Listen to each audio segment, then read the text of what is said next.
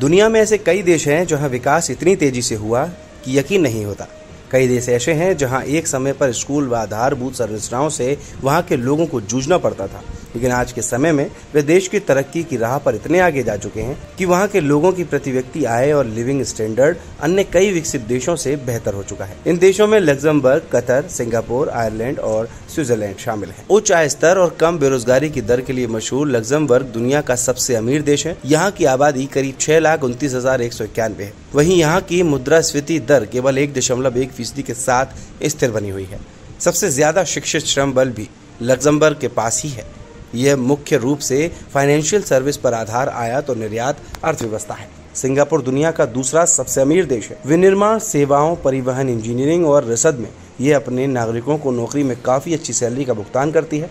यह देश मुख्यतः इलेक्ट्रॉनिक्स जैव प्रौद्योगिकी और रासायनिक सामानों का निर्यात करता है। इस देश की कुल आबादी अट्ठाईस लाख निन्यानवे हज़ार छह सौ सत्रह है।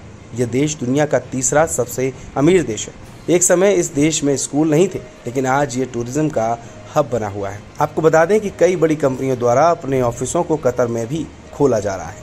इस कारण कतर की अर्थव्यवस्था तेज़ी से आगे बढ़ी है। ये देश निवेश करने वालों के लिए सबसे अच्छा माना जाता है। कई अंतर्राष्ट्रीय कंपनियाँ अपने कारोबार का विस्तार यहाँ करना चाहती हैं। बता दें, इस देश की आबादी करीब छियासी लाख पचहत्तर हज़ार नौ सौ तेईस है। आपको बता दें कि आयरलैंड विश्व का चौथा सबसे अमीर देश है, जिसकी संख्या उनचास लाख तिरपन हज़ार चार सौ चौरानवे है।